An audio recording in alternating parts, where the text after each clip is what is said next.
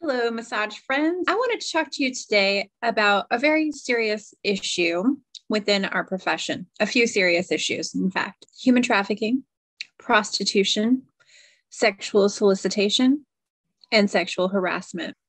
I wanted to address this because back in the beginning, when I started USOLMT in 2020, human trafficking was the first issue that I looked at within our profession. And I did a lot of research. I held a human trafficking focus group. We had a little over 40 massage therapists participate in that group. Um, we provided and shared research with each other. I met with the strategic director of the Polaris Project.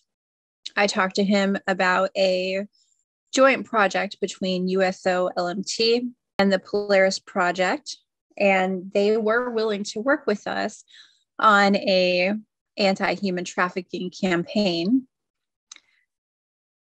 And then I met with Deb Kemet of LMT Body Politic, who offered a completely different view of massage establishment licensing and how it harms us as a profession. I think that Deb is right. I wanted to share with you the information that we compiled into our human trafficking course. And this course is available to our members.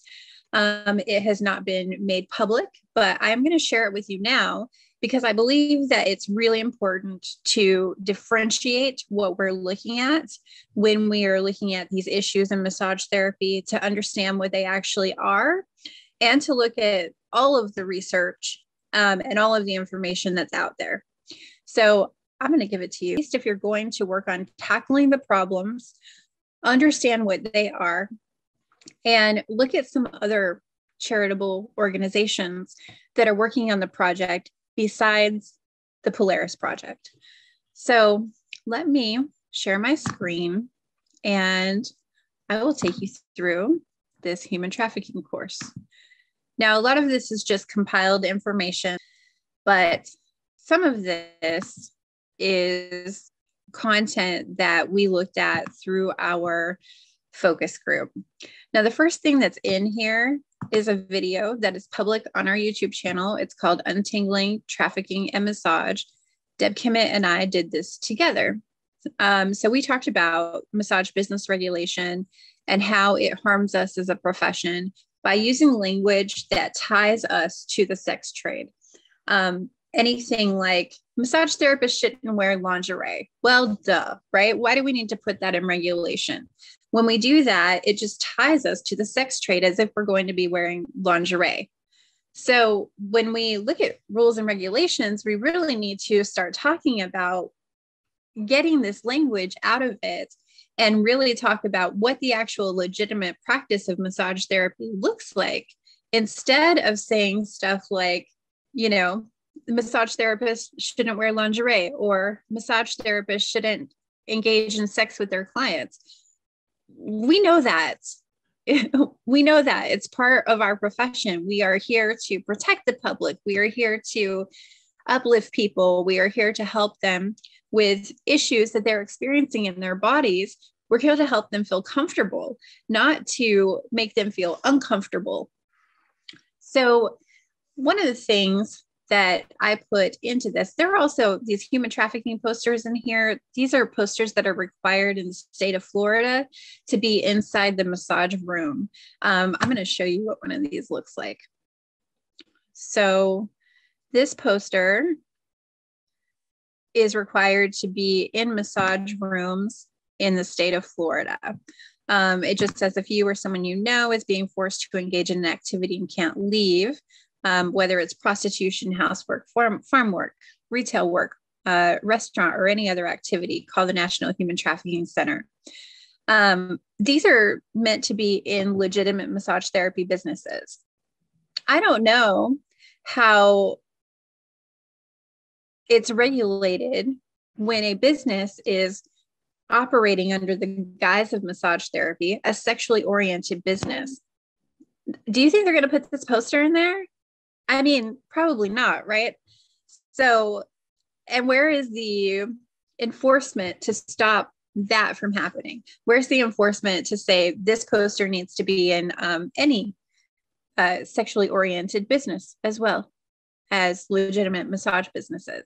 They're regulating us, but they're not actually enforcing the fact that this should also be in other types of businesses that operate under the guise of massage therapy.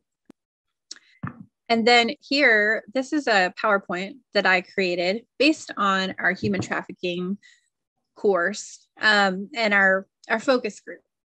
so, some of the things that I want to talk about are separating from traffickers, separating from prostitution. Um, the first thing is really understanding and changing current legislation. The, the second thing is learning about sexual solicitation, sexual harassment, and sexual assault training. And the third would be learning about victim assistance and how these victims get out of these situations. So we need to differentiate this though, because human trafficking is trafficking that is actually using force, violence, or threats. It's fraud, it's deceitful recruitment practices, it is debt accumulation, it's coercion, emotional manipulation, document confiscation, threats of police deportation, exposure, shaming, and consequences to the family of the victim. That's human trafficking. There's also labor trafficking and sex trafficking. So there are a couple different types of things happening here. Um, in some cases, it's just somebody who is brought here from another country and they are being forced to work to work off a debt. And then there are other situations where women are brought here from other countries or they are kidnapped and they are put into the sex trade and it's not just that they're forced to work, but they're also forced to provide sexual acts under businesses that are disguised as massage therapy. And these are sexually oriented businesses. Now, prostitution is different. That is the performance of any sexual act in exchange for money.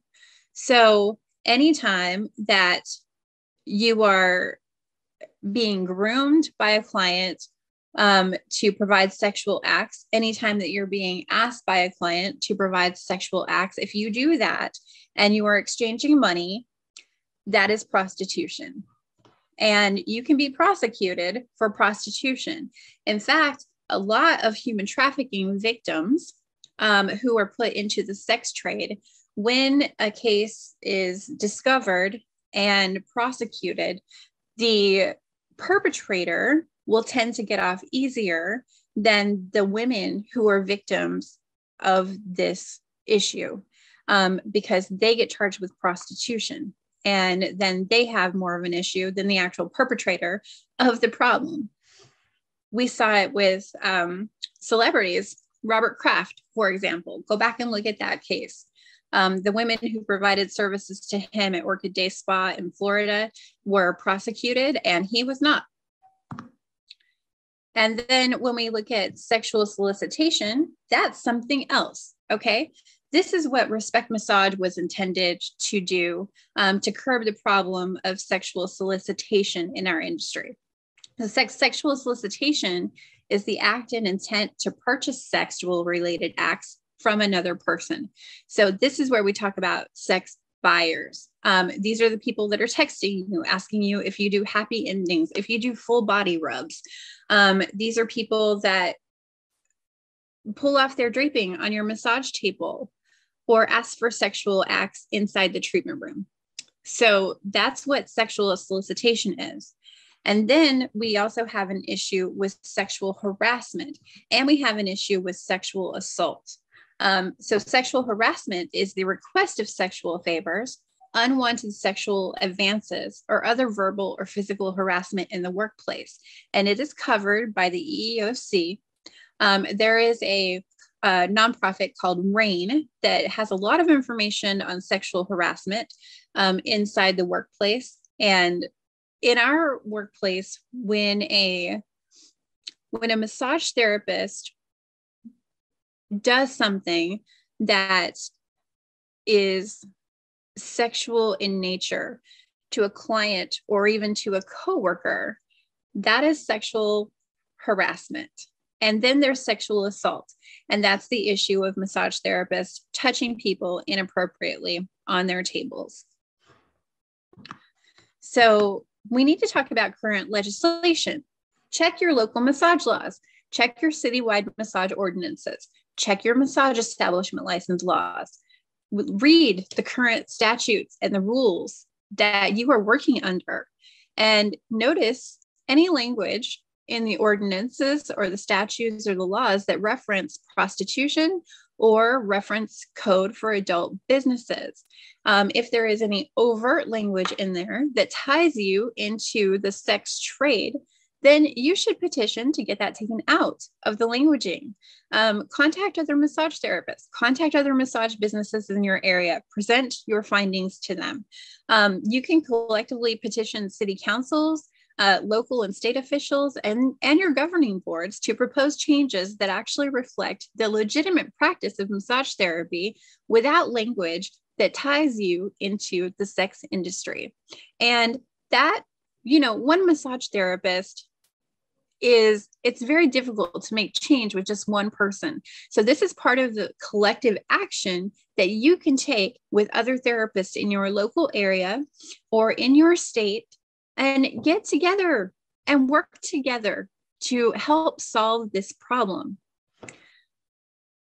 You know, a lot of massage therapists think that the the sex trade should be legalized. And you know, in some ways, it sounds good, right? Like it sounds like if we legalize the sex trade, then we uncover the businesses, they can take off their massage sign and they'll leave us alone. Um, but there are also some issues with that. First of all, I think we need to ask Does the sex trade want to be legalized? And I don't think that it does. I really don't think that it does. Um, I don't think that a lot of sex workers want to be legalized. I think they want to be decriminalized. Um, I think that they don't want to get in trouble for the things that they're doing. Um, but I, I really don't think that they want to be legalized. And if you, as a massage therapist, want to legalize the sex trade, you're going to have to have the support of the sex workers to actually make that happen. And I'm not sure that you're going to get that. Um, I'm also not sure that they're going to work with you. So, um, something to think about going forward. Also, the other thing that you can do is actually advocate for legal changes. You can advocate for prosecution of sex buyers. You can advocate for investigation of sexual solicitation via online platforms, phone, text messages. One of the things that we did um, back at the beginning of USOLMT, after I met with Joyce from Respect Massage, her and I had several meetings. Um, we met about my meeting with the Polaris Project. We talked about um, how we could help and support each other. And one of the things that I was looking into was how do we create a reporting system where massage therapists can actually report um, any instances of solicitation, whether it's in the treatment room, by phone, or by text. We spoke to an attorney about it. Um, we spent the money. We we did it, and the attorney advised us against it because he said that if we tried to do that, then we're essentially blacklisting people. Um, and one of the reasons why I brought that up is because I would I would see massage therapists posting phone numbers of people who were asking for sexual favors via text message or via phone in Facebook groups. And that's not the proper place to actually do that. Um, I looked into a system that sex workers were using, and it's called SAFE. Um, and they don't use it in the United States, but it's uh, used very often in the UK. SAFE is a database where you can put in a phone number of, um, you know, a John or a pimp that might be calling you or is violent or has perpetrated a problem for you as a sex worker. The phone numbers are masked. So they put in numbers like zero, zero, zero, and then the phone number. Um, and anybody can go through and search these numbers in this database. And everybody who has access to the database knows the masking code. Um, they also have a place where they can leave comments. We looked at doing something like that too. Um, but again, it's a liability issue. And we also thought about doing a simple Google form where massage therapists could report this. Um, I called a company called Callisto. Callisto makes software um, that is used at college campuses. And when there is a rape or there is an issue on campus, um, a student can report that issue into the database. They report it anonymously, their name is not tied to it. And then if there is another report with the same number or the same name, then there is an alert that happens to the victims who reported it. And that alert also automatically gets sent to law enforcement. Something like that, I believe, would be great for our profession. Um, but I believe that law enforcement has to actually take the lead on that program because I don't know that we as a profession can actually make that happen without some huge liability issues for us. Um, now, the prosecution of sex buyers. There is a company, um, a nonprofit called Demand Abolition. There is a link to it on the USO LMT website under our charity pages. You can go take a look. Demand Abolition has tons of research on sex buyers, um, what their behaviors are, um, what kind of sex they buy, how often that they do it. Um, anybody interested in this or the profile of a sex buyer should go take a look at that information. Um, they have full reports, 45 pages of information about the profile of sex buyers. Um, another thing you could do state laws that regulate any place of business where a massage therapist works under a healthcare classification rather than personal services or adult services. Um, if we are regulated under a healthcare classification, I feel like this pro- this problem gets a little bit better um, because we are held to a different standard when we are healthcare rather than personal services or adult services. Also, there are 30% of cities across America that still regulate massage therapy under adult service categories. Um, and this is something, again, massage therapists need to take a look at. How are you actually being regulated in your city? Some things that our lawyer, our attorney suggested self-defense classes. Um, that is one thing that you can do to protect yourself from sexual assault or sexual harassment at work. Take self-defense classes. Keep a panic button. Use pepper spray. Um, learn how to use a small taser get other deterrents that are close by and get training on how to use them safely. And, you know, I don't know if you know this, but there are a lot of massage therapists that actually carry weapons on their person or in their rooms. Um, and when I say weapons, I, I mean guns. They carry handguns um, just to make sure that they are safe. And, you know, a lot of this stuff can be really dangerous. And I don't want to scare anybody out of doing massage therapy but you really do need to be aware of the situation and all of these different things that you might encounter when you become a massage therapist. And a lot of this needs to be taught in school. And we say we don't have enough time in our education programs, but it's so important that we take the time to teach anybody coming into this profession how to deal with this stuff and to really understand what is going on. Uh, there was a joint statement issued by ABMP um, and AMTA about human trafficking. And I did not agree with this statement with you.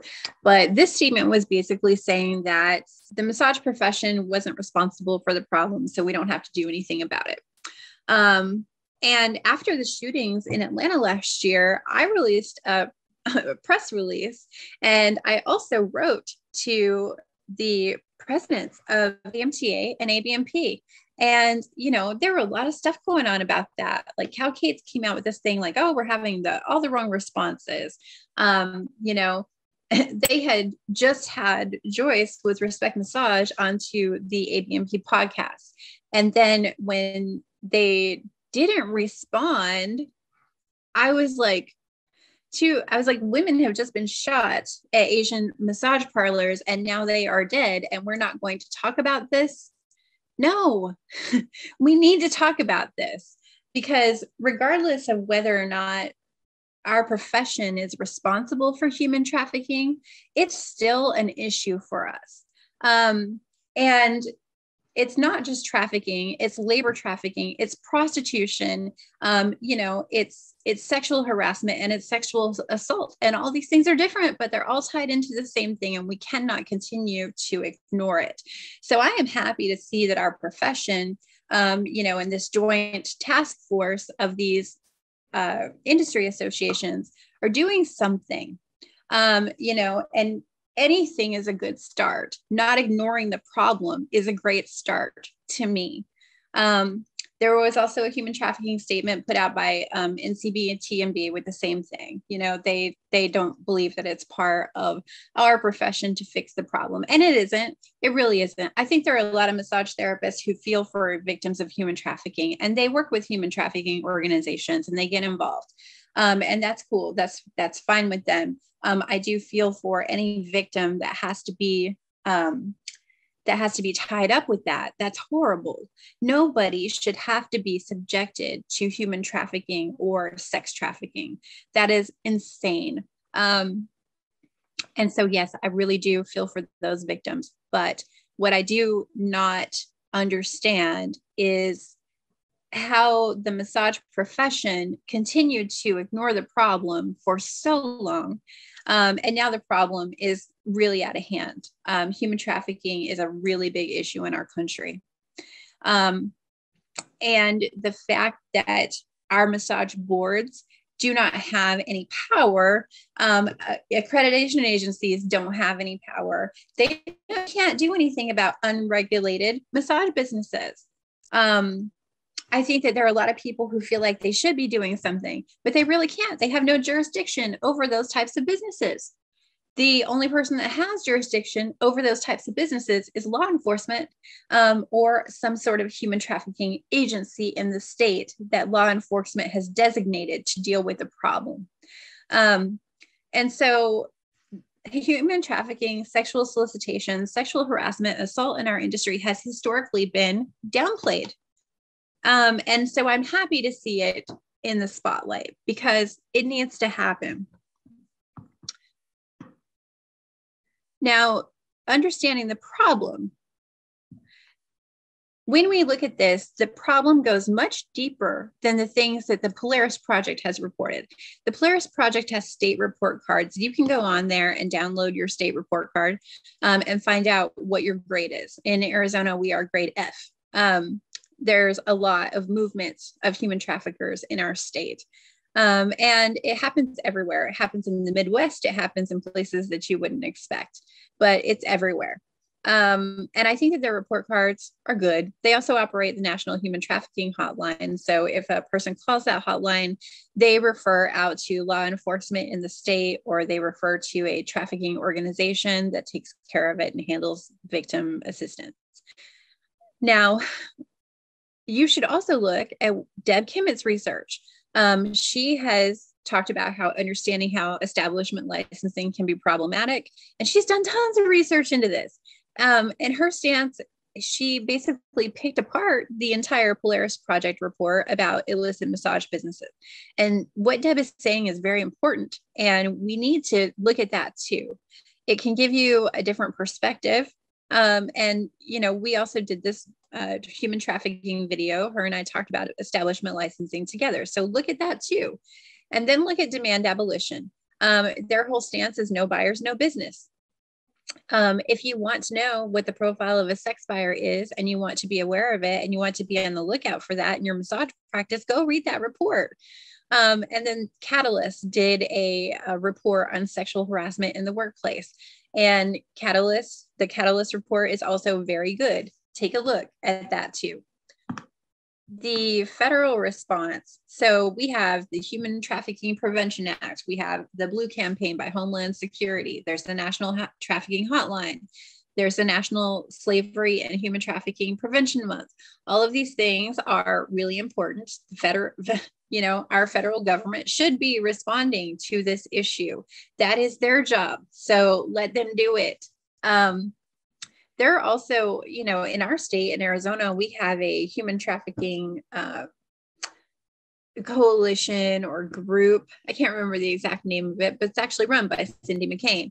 Um, and there is an institute that's dealing with just this specific issue, which I've also tried to contact who did not contact me back. They prostitution. So I really want to get into this and talk about it. Understanding prostitution. Now, this is some stuff that I found out as we were doing our research. There are some different tiers of prostitution, um, and it's really interesting. So, tier one is like a mistress who actively solicits a man. They're paid by government officials, entrepreneurs, businessmen. A lot of them provide um, accommodation, regular allowance, cohabitation. These are like sugar babies, sugar daddies. Um, these are situations that are usually like college students, they're younger girls um, and older men, and they're bound by this monetary agreement. So that is one level of prostitution that's going on in our country right now. This could only this could also be stuff like OnlyFans.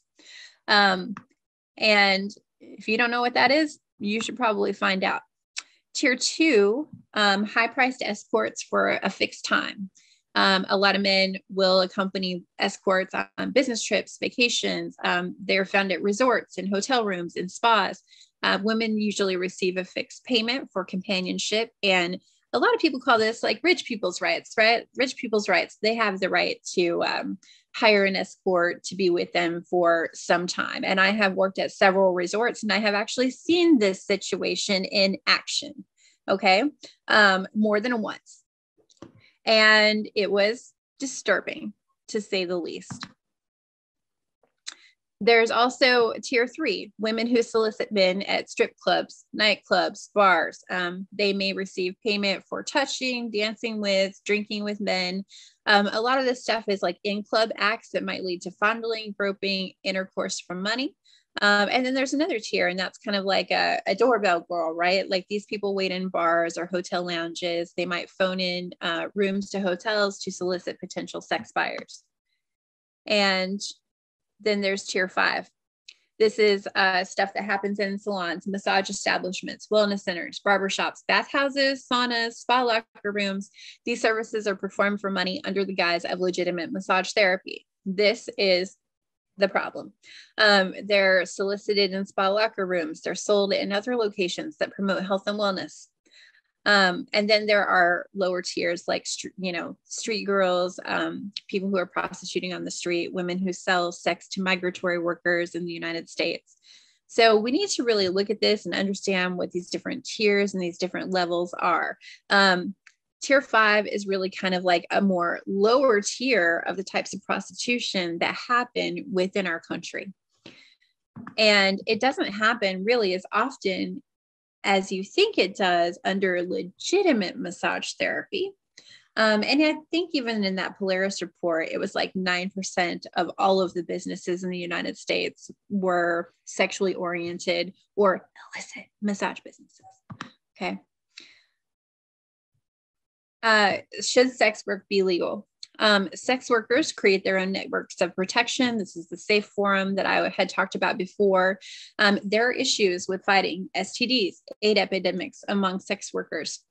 Females have a lack of independent trade union support to actually push legislation through that would protect sex workers. And this is a big issue that has been brought up among sex workers and organizations that support them is the lack of independent trade union support to push legislation through that would actually protect them. Um, workers have little assistance with occupational health and safety issues from the workplace and the labor board and government agencies. And I will tell you right now that massage therapists are doing the exact same thing. They are working to try to create their own networks of protection. Um, there are issues in um, with the lack of trade union support to push legislation through that would protect massage therapists um, and also that they have massage therapists have little assistance with um, osha health and safety issues um, and also from labor boards and government agencies and even law enforcement.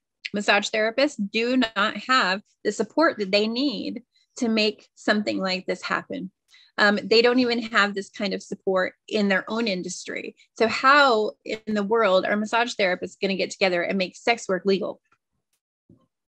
I don't know.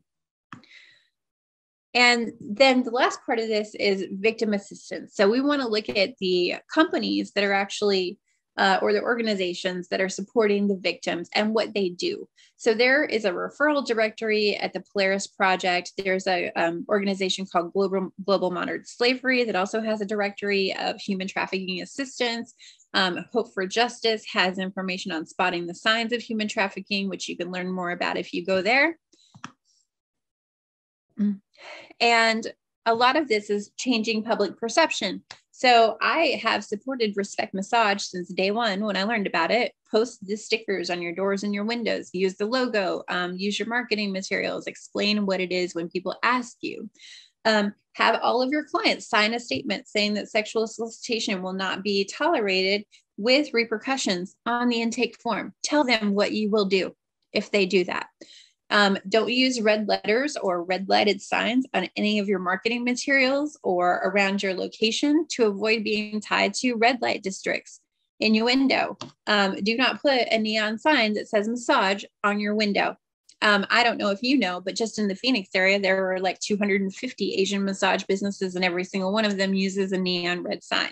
I'm not saying that those businesses are all sexually oriented businesses, but what we do know is that a lot of sexual oriented businesses are Asian run.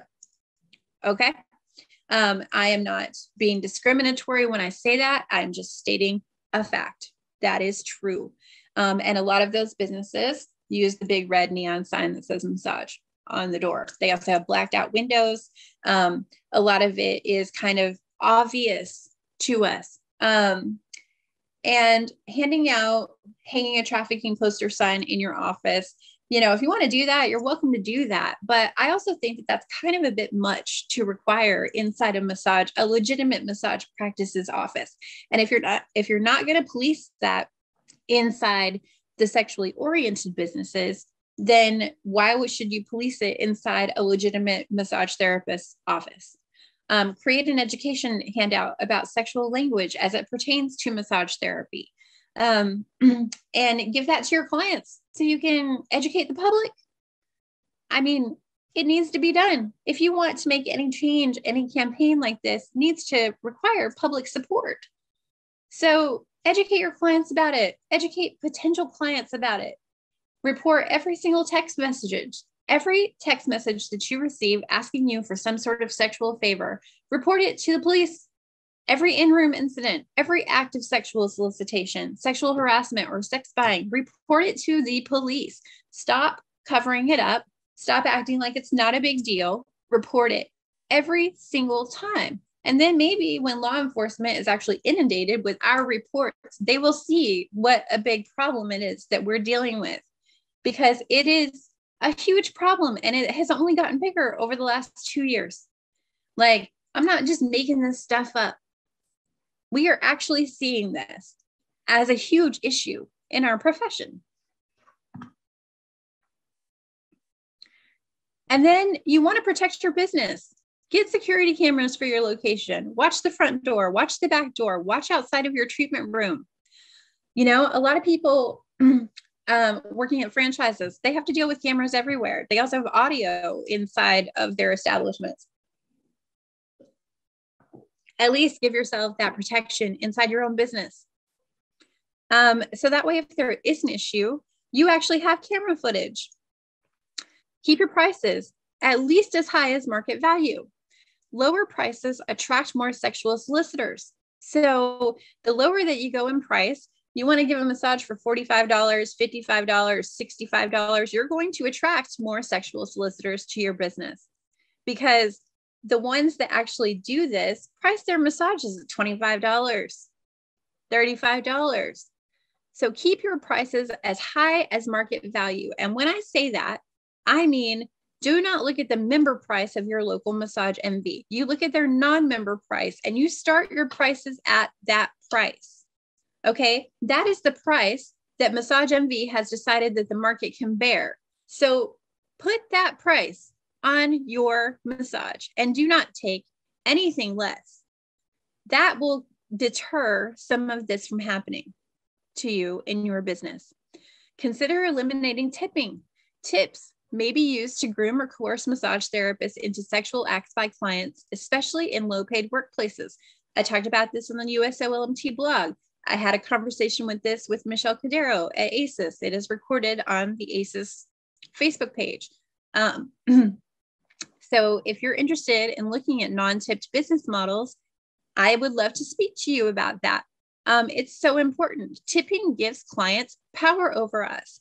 It gives them the opportunity to groom us or coerce us into things that maybe we shouldn't be doing, like sexual acts, um, and other things too, like working too hard. But this is a big issue in our industry. Keep your front door locked. I think in a lot of city codes, there are issues about keeping your front door locked. And why is beyond me. I really don't know because if you're a massage therapist and you're in private practice and it's just you, um, I think that it would be important to make sure that you had some protection from people just walking into your business or just walking into your massage room. That seems like a simple solution to the issue. Um, let people in as they come and go. Take self defense classes. Um, again, keep a panic button, pepper spray, small taser, or other deterrents close by, and get training on how to use those things safely. And the other thing that I think needs to happen here is that all of these issues need to be addressed simultaneously, all at the same time. Human trafficking is not the same thing as prostitution, which is not the same thing as sexual solicitation. It's not the same thing as sexual assault, but every single one of these issues is intertwined with each other.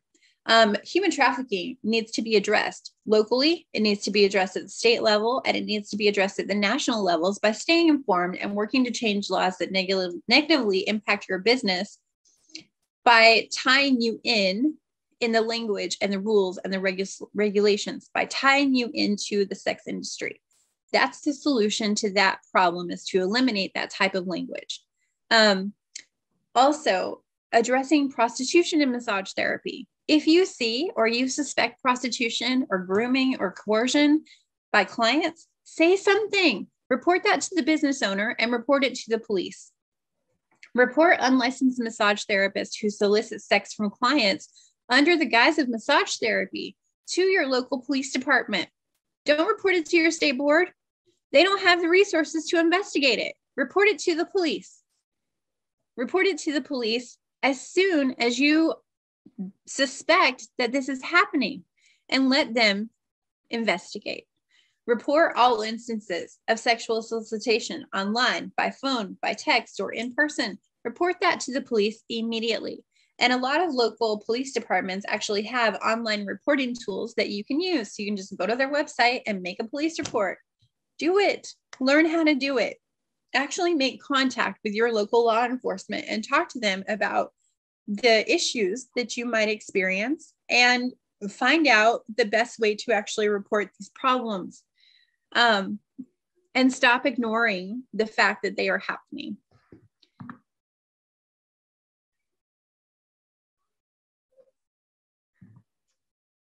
Understand the profile of sex buyers and sexual solicitation so you can spot red flags.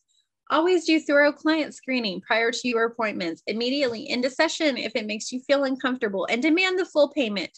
Do not work for an employer that does not support this ever. If your employer does not support the fact that you have the right to end a session when it makes you uncomfortable, leave, run away right now. Your employer should be required to respect that and also to back you up. And, you know, I'm so glad that Congress ended forced arbitration in the workplace because a lot of our bigger businesses, corporations in our industry were using that and they were not they were having people not report incidences to the police. Don't do that. Report everything to the police if there is an issue, okay? Report any sexual harassment towards you from coworkers to management, the owner of your business.